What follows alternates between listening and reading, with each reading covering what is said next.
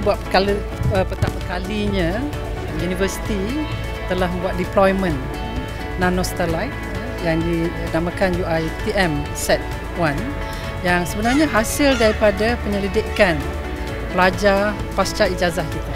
Yang mana uh, ini adalah antara aktiviti yang penting di universiti yang mana kita perlu galakkan. So that is achievement buat pertama kali ini adalah sejarah bagi kita di Malaysia.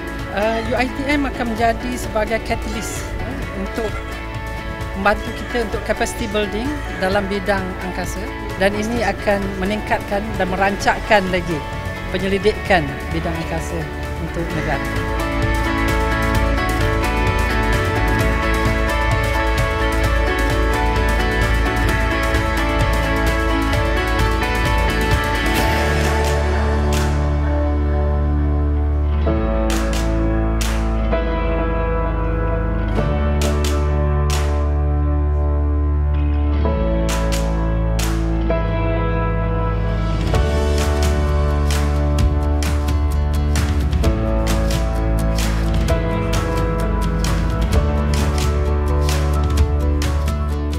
This satellite, the lifetime is uh, around three years.